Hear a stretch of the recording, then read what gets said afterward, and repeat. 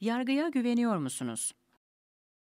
Can Dündar'a cebir ve şiddet kullanarak hükümeti ortadan kaldırmaya teşebbüs suçlamasıyla ağırlaştırılmış müebbet, eskinin idam cezası isteyen savcı, delil olarak 58 köşe yazısını gösterdiği zaman yargıç koltuğundaki kişi siz olsanız ne yaparsınız? Cevap o kadar kolay değil. Köşe yazılarında cebir ve şiddet bulmak için hukuk ve hayat adına her şeyin ters yüz edilmesine ikna olmanız yetmiyor. Cevabı ararken dişleri sökülmüş, terazisi paramparça edilmiş, kılıcı kesmeyen bir yargı sistemine dahil oluyorsunuz.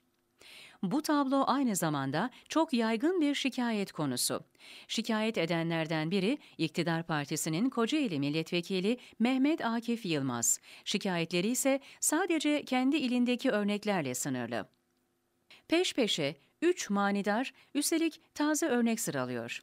16 yaşındaki bir kızı 4 gün alıkoyup tecavüz edenlerin, yüklü eroinle yakalanan şahsın ve eşini 8 yerinden bıçaklayan adamın, kadın daha yoğun bakımdayken mahkeme kararıyla serbest bırakılmaları AK Parti milletvekili, hakim takdirinin bu kadar keyfi kullanılması toplum vicdanını yaralıyor, adalete olan güveni zedeliyor sözleriyle faturayı yargıçlara çıkartıyor.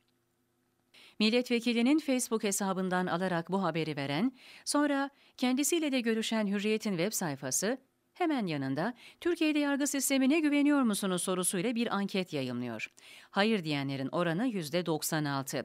Bu yüksek güvensizlik oranı üzerinde yukarıdaki haberin etkisini hesaba katarak rakamı çok yüksek bulabilirsiniz. Ancak Kadir Has Üniversitesi'nin bilimsel ölçülerde 2015 yılını değerlendirmek için yaptığı araştırmada siyasallaşma üzerinden yargıya güvensizlik oranı %73,8 gibi yine çok yüksek oranda çıkıyor. Yargıya ve yargıca güvensizlik, ülkenin, devletin, toplumun çivisinin çıktığı anlamına geliyor. Yargıya güvensizlikle hükümete, belediyeye, kaymakama, valiye, polise, askere güvensizlik arasında esaslı bir fark var. Diğerlerini zor da olsa düzeltirsiniz. Adalete güvensizlik toplumu bir arada tutan, geleceği koruyan bütün umudun ve inancın kaybedilmesi demek. En temel hakkınız olan yaşama hakkınızı bile adalet işlediği sürece koruyabilirsiniz. Yoksa Herkes kendi davasının savcısı ve yargıcı olur.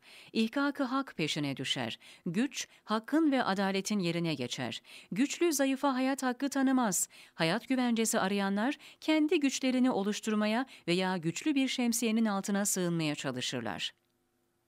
Gücün geçer akçe olduğu bir toplum düzeni ortaya çıkar. Güçlünün haklı olduğu, hükmünü yürüttüğü orman kanunları geçerli olur.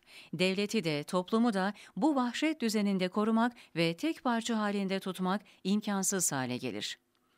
Yargıçlık vicdanla yapılan bir meslek. Meslek onurunu ve ciddiyetini dikkate alırsanız her yargıcın karar verirken dinlediği bir vicdanı mutlaka vardır. Yargıç usul kurallarını işletir, delillere bakar, muhakemesini yürütür, kanun maddelerini sıralayarak kararını verir.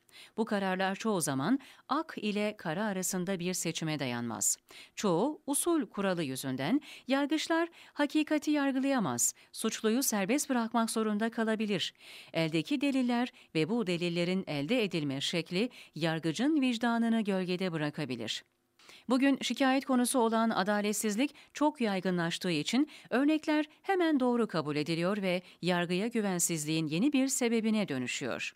Yargı üzerindeki siyasi yüke dayanamadığı için çöktü. Siz yargıç olsanız karar verirken güç sahiplerinin durduğu yeri kestirmek zorunda kalırsınız.